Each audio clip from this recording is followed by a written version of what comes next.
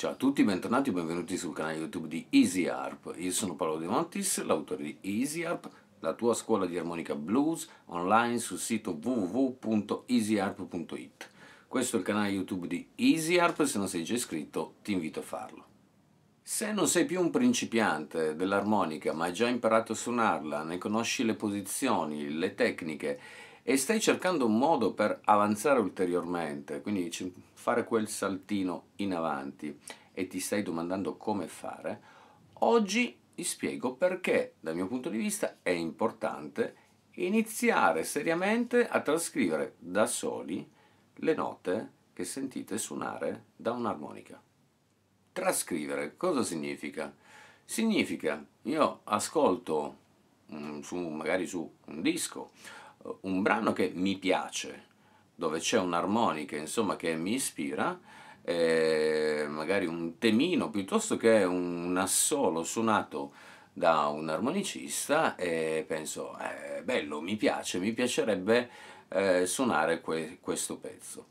La prima cosa che si fa è andare a vedere se qualcuno ha già fatto questo lavoro di trascrivere quel brano o quella parte, è la parte insomma, che ci interessa. Se abbiamo fortuna magari lo, lo, troviamo, se abbiamo fortuna magari lo troviamo trascritto correttamente, ma ci può capitare spesso che questo, questa, questo, di non trovare la fonte e quindi rimaniamo col nostro bel assolo di armonica, ce lo ascoltiamo e eh, ci piacerebbe suonarlo ma non c'è modo. Beh, non è proprio così.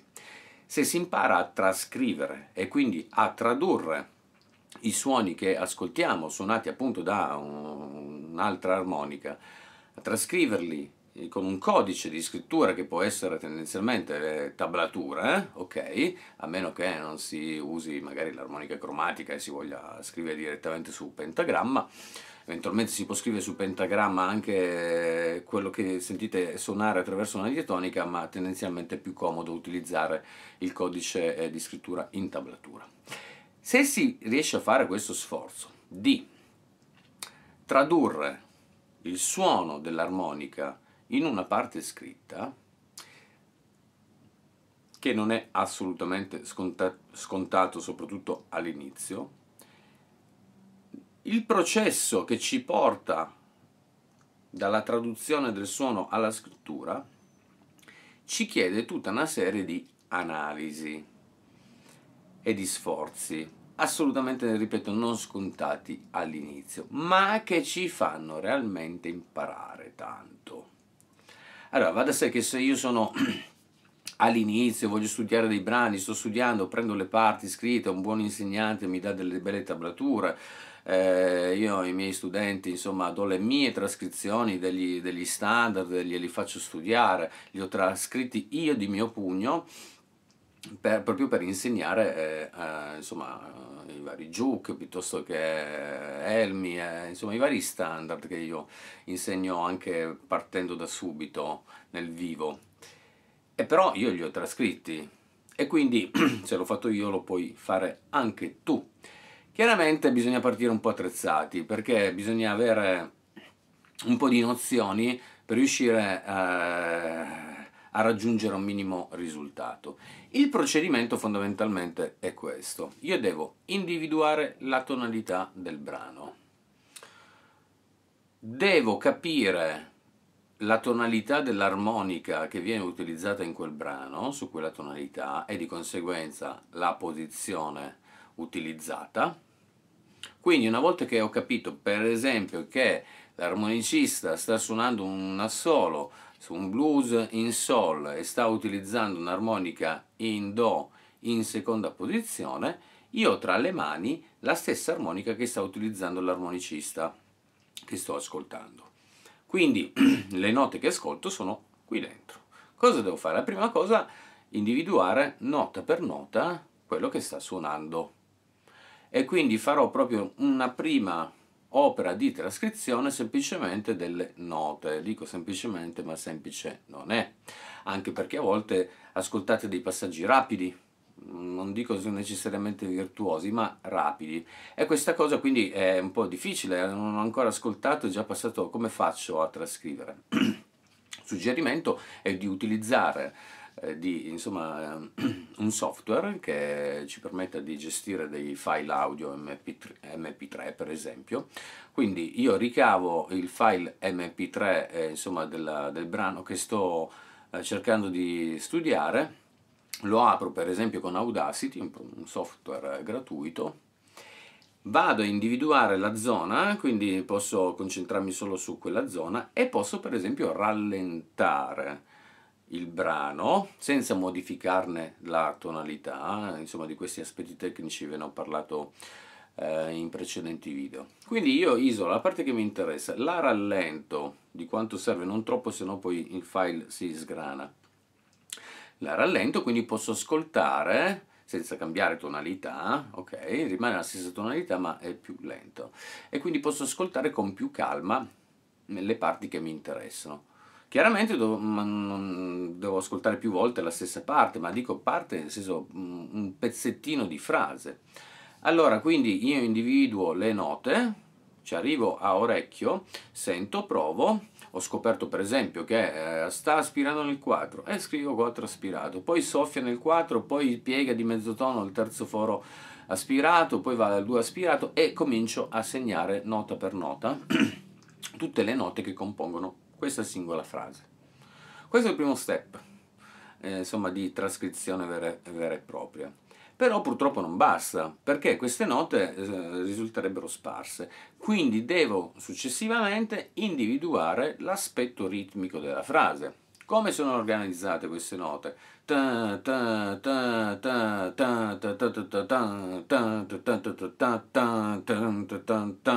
Quindi andrò a capire sul tempo dove si trovano. Tendenzialmente la metrica sarà 4 quarti, ho una griglia di battute eh, da 4 quarti e quindi proprio sul tempo vado a segnare le note. Ci saranno note in battere, in levare, terzine, ottavi, insomma note lunghe una battuta. Andrò proprio a, a trascrivere quello che io ascolto quando io vi, vi, metto a disposizione una tablatura delle mie, una delle mie Easy ARP tabs, insomma scritte, insomma dove io, come ben sapete, chi studia con me e tutti gli iscritti alla scuola online, le mie tablature sono uh, scritte in questa maniera, quindi io pretendo poi che tu impari a suonare correttamente il brano, a tempo, con le durate giuste, entri subito in questa dimensione. Troverai le trascrizioni dei miei standard blues trascritte in questa maniera, così che tu, chiaro che eh, avere la memoria e la conoscenza del pezzo aiuta, però tu hai una scrittura che ti permette facilmente, seguendo pedestramente quello che hai scritto, di ottenere il risultato atteso, quindi imparerai a suonare le tue frasi correttamente. Allora, se tu entri in questa modalità e quindi cominci a fare lo sforzo, chiaramente non partire da una solo di Gesù Ricci perché risulterebbe veramente molto complicato, ok? Quindi magari partendo da brani un po' più semplici o comunque qualcosa che ti piace, qualcosa che ti piace, insomma, che non troppo difficile, ma che ti piace, che dici io vorrei imparare a suonare questa cosa qua non trovi le fonti, beh, comincia, chiaramente devi già, ripeto, già conoscere le tecniche, devi riconoscere che è una tecnica, che è un bending, piuttosto che, insomma, non entriamo poi nei dettagli delle sfumature espressive, se sta utilizzando il tone blocking o meno, ma si capisce tutto. I miei studenti lo sanno, io capisco anche quando si aspira nel 2 o si soffia nel 3, vi becco tutti e lo sapete. E quindi l'orecchio si raffina, si raffina. Quindi questo sforzo di tradurre in scrittura la musica che sentite vi fa fare tutta una serie di analisi, no? Quindi per forza di cose entrate nella musica. La musica insomma è fatta di pochi elementi, ma insomma quando sono chiari e definiti e ben organizzati la musica è veramente piacevole da ascoltare. E quindi cogliendo le note, quali note e la loro organizzazione nel tempo, più eventualmente aspetti espressivi chiaramente, ma questi sono io normalmente tendo a non scriverli troppo, li lascio diciamo all'interpretazione, cioè più, più, che altro al, all'orecchio. Scrivi le note, organizza le frasi, cerca di capire quando inizia e quando finisce una frase, quando ricomincia. Facendo questo lavoro di trascrizione tu sicuramente impari tanto, impari tanto e cominci anche a trovare delle ricorrenze. Dici, ma magari sai, ti piace un particolare armonicista, cominci a studiare qualche frase, trascrivere qualche frase e scopri che gira e gira, magari eh, le soluzioni sono abbastanza ricorrenti, quindi riconosci delle ricorrenze stilistiche. Allora, all'inizio io eh, faccio studiare ai miei studenti le, le parti che scrivo in tablatura e quindi entri anche un po' in contatto con questo modo di, di, scrivere, quindi impari a suonare correttamente e vai avanti con lo studio. A un certo punto arriverai, arriverai, per esempio nella scuola Easy Harp 2.0 c'è chi sta arrivando agli ultimi livelli, già agli ultimi livelli avanzati. E questo quindi avrai avuto modo di studiare anche parti molto complicate e chi lo sta facendo lo sa. Però non basta, perché poi il problema spesso è legato all'improvvisazione, quindi il riuscire a suonare in modo estemporaneo qualcosa che sia interessante. Soltanto suonare a memoria non, non basta, l'improvvisazione non è suonare a memoria, l'improvvisazione è qualcosa di molto complicato, volendo, da spiegare. Però comunque l'orecchio ci fa capire se funziona o non funziona. Ma se ci rendiamo conto di essere limitati dal punto di vista improvvisativo, nonostante abbiamo fatto degli studi anche complicati, beh, probabilmente ci manca questo aspetto di sfida, di cominciare a trascrivere. Cominciare a trascrivere.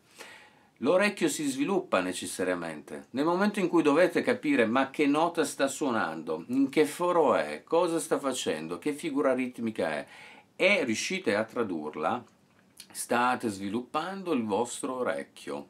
E più lo fate più diventerete bravi e rapidi a farlo. Quindi arriverete magari al punto che mettete su un disco di Muddy Waters dove c'è, che ne so, Jerry, Porno, Jerry Pornoy che sta facendo un bel assolo.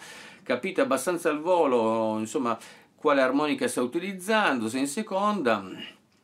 E abbastanza al volo riuscite a riconoscere la frase che sta suonando e a riprodurla abbastanza facilmente e quindi riuscite a rubare più in fretta.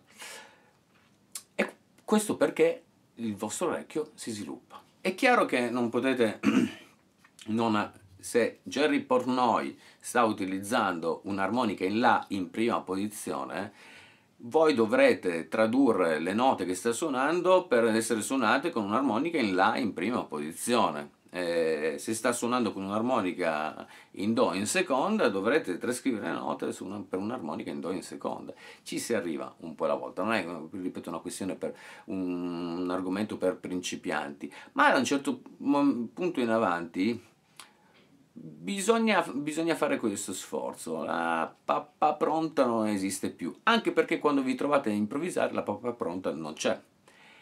E quindi cosa succede? Tutto il lavoro fatto vi tornerà utile.